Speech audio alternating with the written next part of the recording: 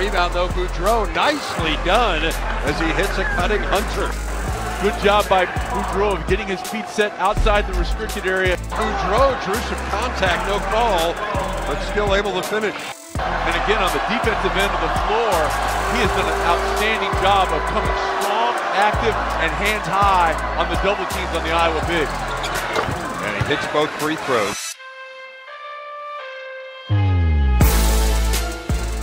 Cross court, Boudreaux for three. And he rattles it home. Boudreaux fighting for the board and a held ball. And so that will go to the Boilers. Out of the corner, Boudreaux. What a big shot.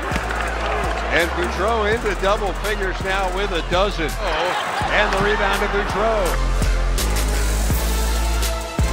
What a As play. Boudreaux goes to the ground and calls timeout. And if that does not Yep. exemplify the effort of this Purdue team here tonight, I don't know what does.